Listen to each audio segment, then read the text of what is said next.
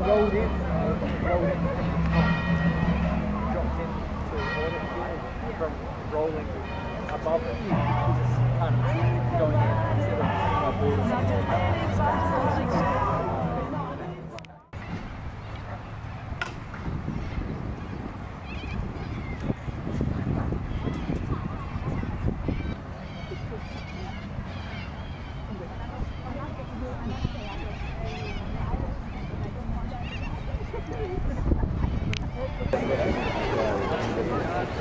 Uh,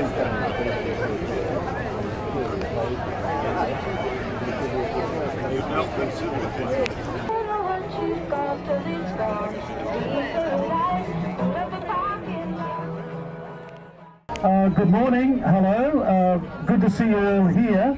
Uh, my name, no, some of you thought it was Brian Burt. No, I apologise, I'm not Brian, he's busy doing other things, saving other things. We believe in development, but I'm sure you would agree the kind of development that we want is a kind of development where a hundred years from now, people won't say, why did they do that? we stand today was the site of the proclamation of self-government in 1890. 6,000 people, and that's 80% of the then population. Huge statue to Colin Barnett, thanking him for saving the future of Perth and our heritage. And we need to kept to Lisa Scaffidi Drive, thanking her for keeping our heritage. Now, Riverside Drive is this beautiful, actually it's a boulevard, it's not just any old road, and it's part of whatever you do. When you come to Perth, you bring your visitors along that drive.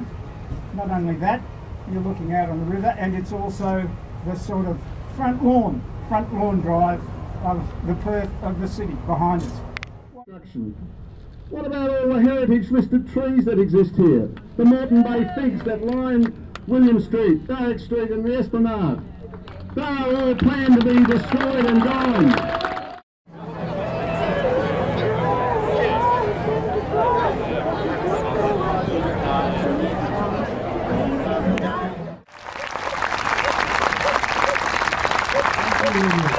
We certainly demand a better plan